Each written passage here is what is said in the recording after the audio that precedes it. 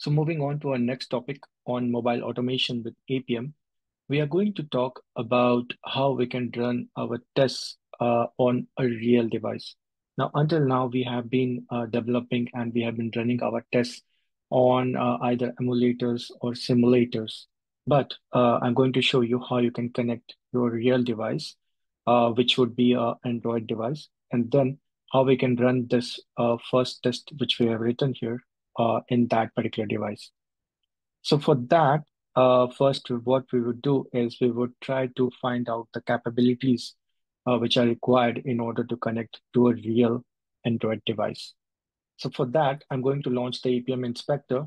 And here uh, we are going to connect to our real device. Now, before we do that, uh, before we add the new capabilities, uh, what we need to make sure is uh, our device, uh, in this case, it is an Android device, it is connected uh, through USB or through Wi-Fi uh, to your uh, particular device from where you are running this test, right? And then the USB debugging and the developer option is turned on in your settings. So I've already done this. I've already connected my Android device through USB into my particular system. And I've already turned on the developer options and uh, the USB debugging uh, in my developer option settings. Okay. So how you can make sure uh, is by going uh, into this system settings, okay? And there you'll find the developer options if it is enabled. And then uh, here you will see that uh, my USB debugging option is already enabled, okay? If you're connecting through wireless, then you need to enable the wireless debugging option.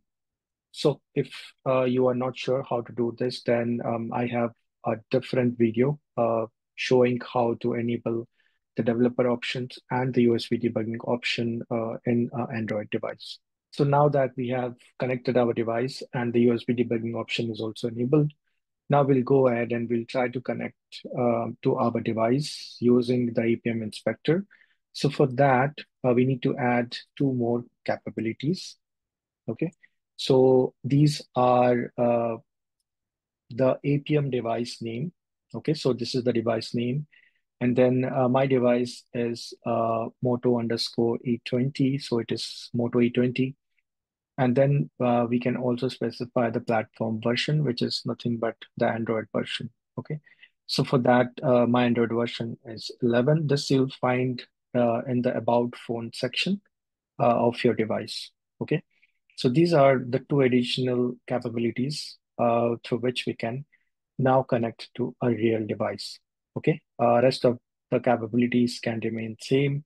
Um, so we have specified which platform it is. It is Android, the automation uh, framework, which is UI Automator 2, and the application which we want to run. Okay, so we have provided the path um, of the particular application which we want to install and run.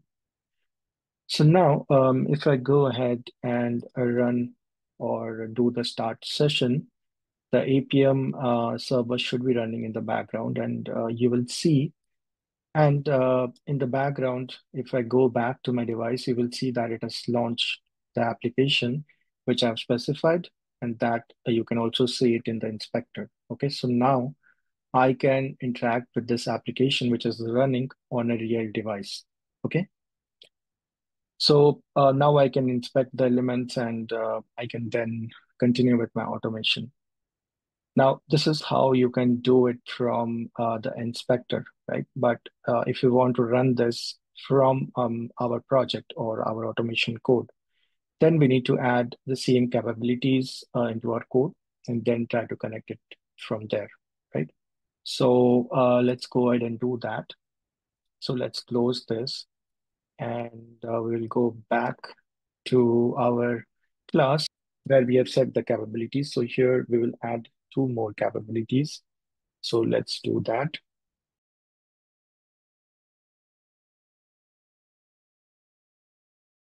Okay, so this is for the device name and then the same uh, we would do for the platform version. And we'll specify the value here. Okay, so these are the two capabilities which will help us to connect to that particular device. And then um, it will run um, the usual test which we have written on the real device. So uh, while running this test, uh, we can also look at our real device. Okay, so here it is. Uh, and now let's try and run this particular test. So uh, we are going to run this on a real device. Okay.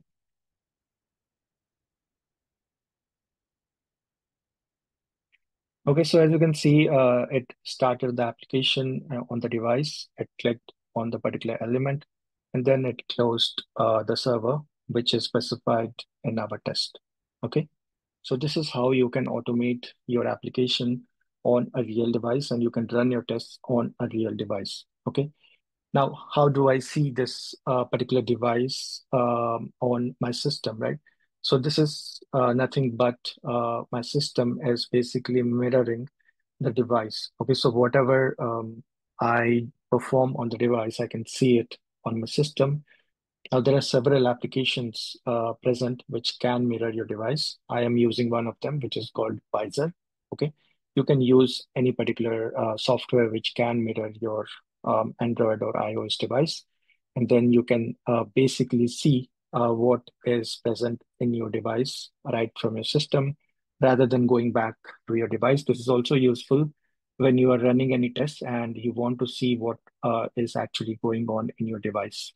But that's all for this particular session. Um, this is how we can uh, configure our real device.